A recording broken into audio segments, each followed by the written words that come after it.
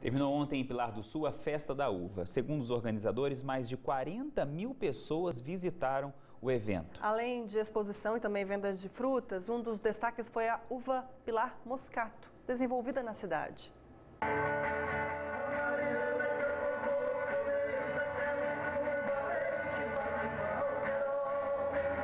A música caipira alegra os visitantes. Muita gente para para acompanhar e ouvir as canções do grupo que se apresenta no palco. Mas é aqui neste galpão que estão as personagens principais da 18ª Feira Agropecuária de Pilar do Sul, a FEAPES. São as uvas produzidas no município. Elas são tão bonitas e apetitosas que parecem até brilhar dentro das caixas. Muita gente aproveitou para levar as frutas para casa. Luiz comprou estas da variedade Itália, escolhidas por Ana Clara, de 6 anos. Todas são lindas, né?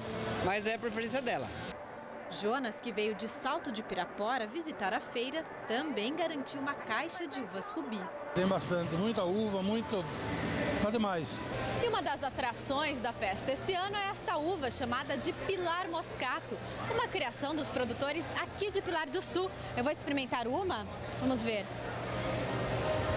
Hum, ela é bem docinha, tem 18% de açúcar e não tem caroço. Já é considerada uma uva gourmet. Uma uva que foi criada pela própria associação, onde teve o cruzamento de várias espécies, tanto como um estudo de laboratório. Foi vários anos de, de pesquisa para ter essa uva hoje no mercado. Ela já está no mundo inteiro, ela é exportada, então ela é vista no mundo inteiro. Já temos exportação. A pequena escala ainda, é uma amostra que está indo para o exterior, mas já acontece.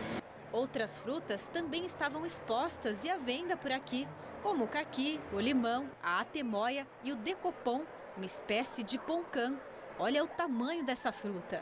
Mais de 40 mil pessoas passaram pelo recinto de exposições nos quatro dias de festa, de acordo com os organizadores.